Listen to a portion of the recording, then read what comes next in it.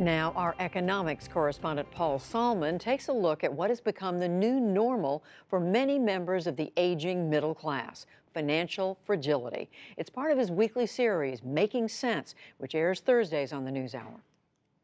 Everybody is pretending. And that's why you call the book Faking Normal. Right. Because there's a lot of pressure to seem like you are doing well. Elizabeth White is not doing terribly well. As she painfully chronicles in the book she's just self published 55, unemployed, and faking normal. White's been on the edge of the financial cliff for years, even though you'd never know it from how she looks or the Washington, D.C. townhouse she bought years ago, one she couldn't even dream of renting today. But you haven't been in a situation where you literally couldn't afford whatever it is, the condo fee or. Oh, absolutely, I have. I'm right now have to park outside because I'm in arrears on the condo fee. Right now. And she's refinanced to the hilt, taking in a boarder. Well, you haven't used food stamps. But I have. I've had to. It's been quite a comeuppance for someone with her background. I have a bachelor's from Oberlin. I have a master's in international studies from Johns Hopkins. I have a Harvard MBA. I worked at the World Bank, came in through a program where they recruited 5,000 people. They took two Americans out of that 25. I was one of the Americans. But ultimately, White decided to leave the bank to start her own business.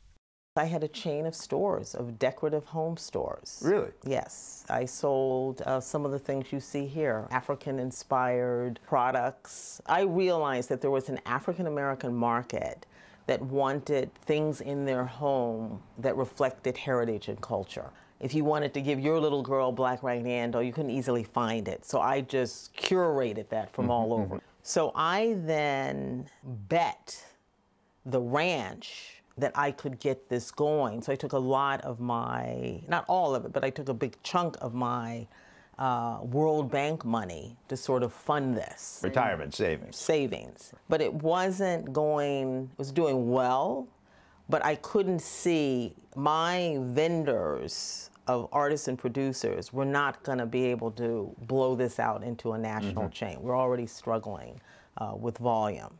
Did you sell your stores? No, closed it in the end. Just didn't didn't work. But steady consulting work allowed White to maintain an upper middle class lifestyle for a while until the crash of 08. Within six months, I went from you know probably close to two hundred, Thousand dollars a year. right, to zero.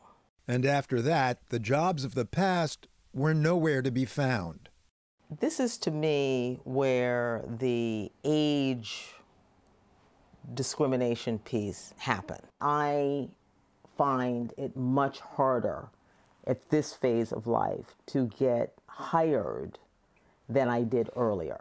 But you look so young, and I'm not just saying that to you know flatter you or something. I mean, you, you surely can pass now. You're 62 or something. Three. that? 63, and you could pass for your 50s easily, mid 50s, early 50s, right? Early 50s is not considered young in the workplace. No, it's not, as we learned in an interview with economist Teresa Ghilarducci, citing a study by the New York Federal Reserve.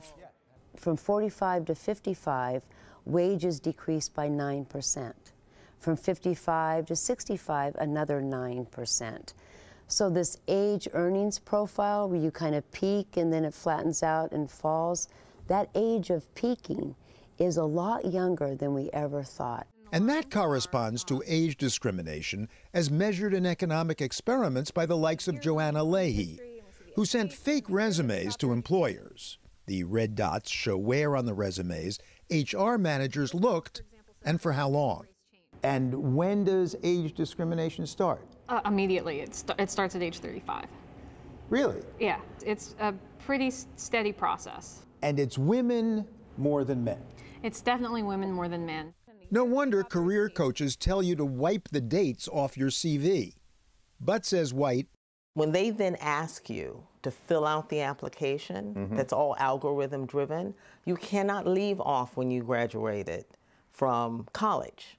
And once you put that date in there, Then it's They clear. know. Now, as you get older, your network also is not what it used to be. because they're losing their jobs. They're losing their jobs. They are retiring. They're not hearing about things. They're winding down. People have died. So White has been scraping by with scattered freelance gigs. So it's sort of bits and pieces Mm-hmm. that allow me to cobble together uh, income. but nowhere near the income of the past. Oh no, Not no. even close. no. I mean, again, I have years of you know under thirty thousand. Help has come from unexpected sources, like neighborhood free spirit Elijah, a clothing minimalist. I was getting on the far side of where my mortgage company was getting like serious with me. Because you were behind in your payment. Behind, he just Lizzie, I'll, I'll do it. I can do it. But I'll do it, meaning I'll make up the Yes, I will. I will do it. I'll And pay- he'll I'll pay your it. mortgage. Right. So this is my Elijah. This is my Elijah. Yeah. Uh, I'm, I'm, I'm people's Elijah. The Vietnam vet gets about $900 in monthly benefits, saves almost half. I'm not a things person. How much money do you think I'm spending on my attire? okay.